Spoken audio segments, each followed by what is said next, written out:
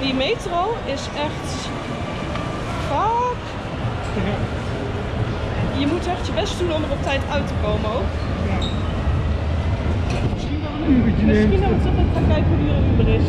Want dit is wel heel goedkoop, maar het was echt eh, heel heftig ook. Ja, ehm, dus we zijn in het stadscentrum van Medellin. Medellin is een levendige en bruisende, of zoals wij het noemen, drukke stad. Dat is zeker niet altijd zo geweest, want Medellin stond nog niet zo lang geleden bekend als de gevaarlijkste stad ter wereld. Dat kwam doordat het kartel van Pablo Escobar hier aan de macht was. En jaarlijks werden er meer dan 4000 moorden gepleegd. Gelukkig is het tegenwoordig niet meer in handen van het kartel en heeft Medellin een gigantische transformatie doorgaan. Medellin is een stad met een bewogen verleden. Het was eh, tot op een paar jaar geleden nog een van de gevaarlijkste steden van de wereld. En dat is het nu niet meer. Medellin is een stad met een verhaal. En er is veel gebeurd in het verleden. Een van de bekendste wijken is Comuna 13. Tegenwoordig de kleurrijkste wijk van Medellin. Maar dat is zeker niet altijd zo geweest. Jaren geleden werd deze wijk geteisterd door drugsbendes en het was er heel onveilig. Er werden veel moorden gepleegd, kinderen konden niet op straat buiten spelen en inwoners mochten de wijk niet verlaten. In 2002 besloot de president om een enorme inval te doen in Comuna 13. Maar liefst vier dagen lang beschoot het leger de wijk en er vielen vele slachtoffers. Comuna 13 heeft dus een veelbewogen verleden en heeft in de afgelopen jaren een bizarre transformatie ondergaan. Er staan nu elektrische roltrappen zodat de inwoners niet meer de heuvel op en af moeten lopen. En er is veel street art te vinden die de verhalen van Comuna 13 vertellen.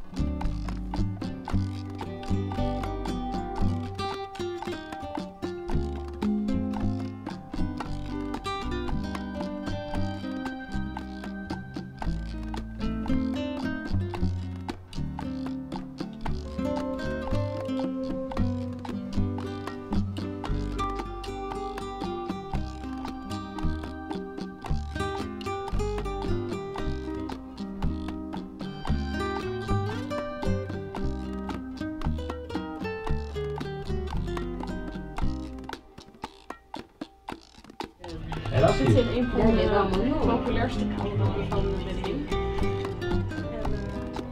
hebben echt een heel mooi, heel mooi uitzicht van deze enorme stad.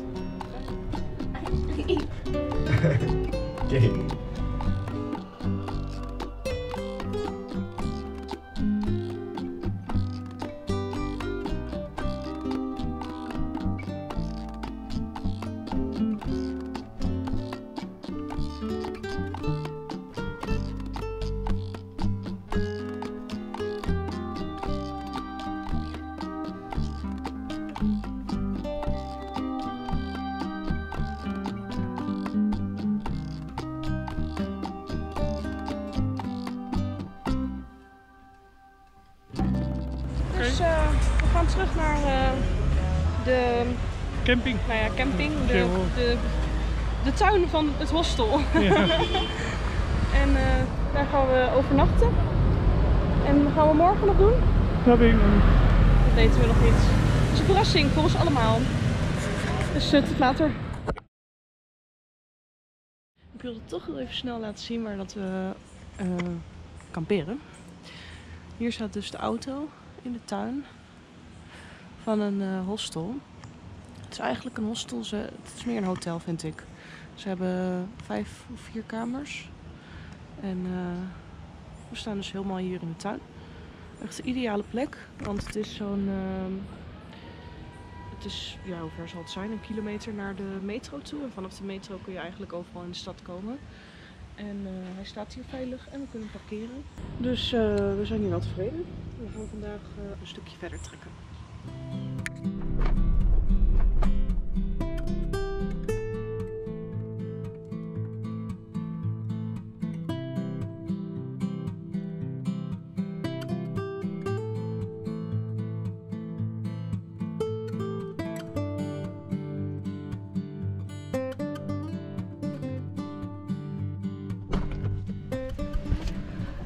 We zijn gisteren drie uur vanaf Medellin naar eh, de Gautapé-regio gereden.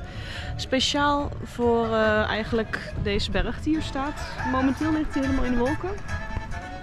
Maar de zon begint wel, wat, eh, begint wel een beetje doorheen te komen. Dus ik hoop dat we straks toch van boven het uitzicht hebben waar we voor gekomen zijn.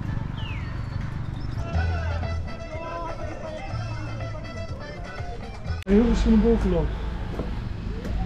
700 eh, trappen. 740. En het leuke is, elke 25 staat er ook gewoon aangegeven hoe ver je bent. Dus je kunt ook de hele tijd opkijken tegen wat je nog moet. Oh ja. 740. Dus we hebben nu nog maar minder dan 700 trappen. Ja. Dus,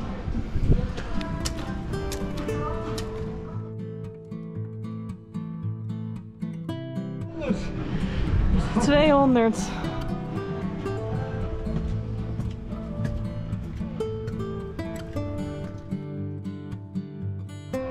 Driehonderd. 300. We zijn nog niet op de helft. Maar het uitzicht wordt wel mooier en mooier.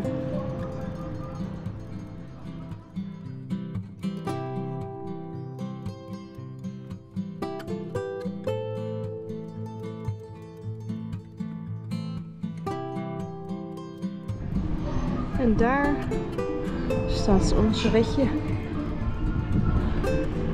Ja, nog een We stukje. zijn weer weer. Ja, maar het is ook nog vroeg. We zijn hier om eh kwart voor acht waren we hier. Het gaat om 7 uur open. En daarnaast ligt hij nog helemaal in de wolken. Dus de meeste mensen zullen denken, nou, ik ga vanmiddag. Maar we moeten nog een stukje. Voor 100. 100. Oké. Drie uur heen rijden. 700 plus stappen. Was het worth it?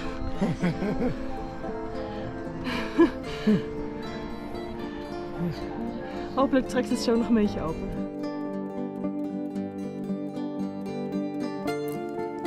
Net buiten het dorpje Gautepé ligt de bekende rots La Piedra del Peñón. Deze enorme monoliet steekt kaarsrecht 220 meter uit de grond omhoog en lijkt dichtgenaaid te zijn door een gigantische trap die je naar boven brengt. Nou ja, je moet natuurlijk wel zelf die 740 treden beklimmen, maar bovenop vind je een grandioos uitzicht.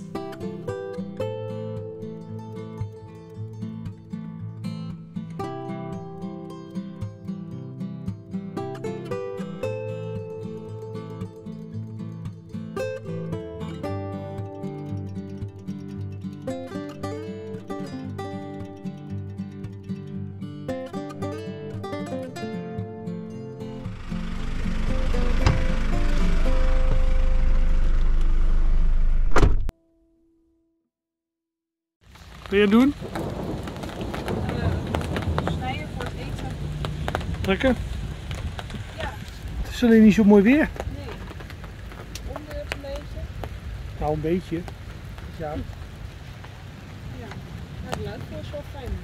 ja een luidvol is nu wel fijn. Het is wel helemaal nat nu straks.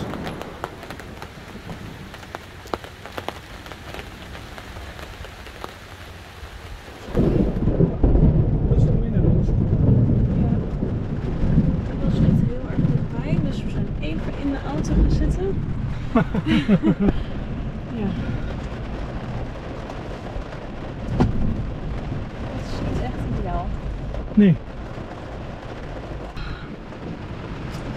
Not so glamorous.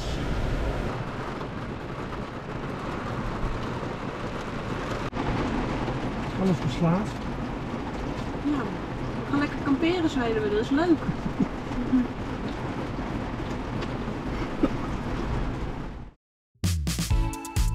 Volgende week trekken we verder Colombia in en gaan we afgelegen paden op. We hopen dat je deze video weer leuk vond. Zo ja, geef ons dan een duimpje en abonneer op ons kanaal. Dan zien we je in de volgende video.